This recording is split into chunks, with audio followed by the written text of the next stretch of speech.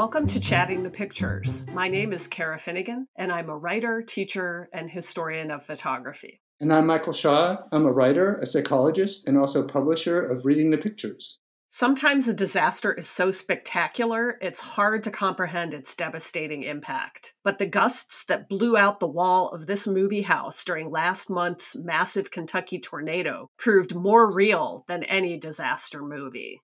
This viral photo was originally posted to social media by Shawn Triplett. It shows tornado debris inside the theater of an American Legion building in Mayfield, Kentucky, December 11, 2021. At 165 miles long, it was the deadliest long track tornado ever recorded, killing 66 people and leaving the town in ruins. I find this the ultimate example of storytelling as a feature of modern news photography. The image literally puts photojournalism on par with cinema. Exactly right. When disaster strikes, people say it looks just like a movie. But here, that idea is fully embodied. And I think one of the ways that it is fully embodied and is cinematic is by putting you, the viewer, in the position of the spectator. So we are sitting in the back row of this theater, and that contrast of the darkness of the theater and the lightness of the outdoors really gives it a kind of watching movie quality, doesn't it? This actually says so much about news photography and the media today, the blurring of the lines between news, art, and entertainment.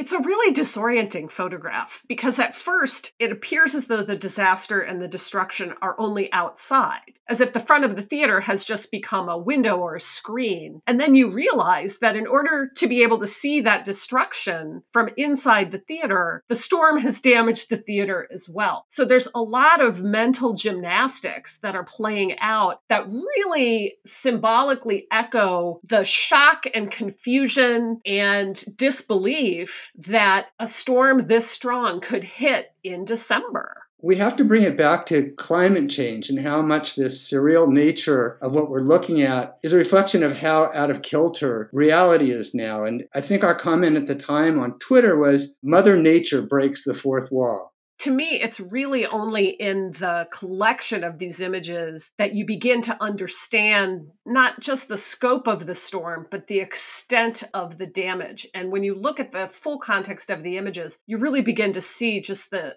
level of local devastation that people are facing.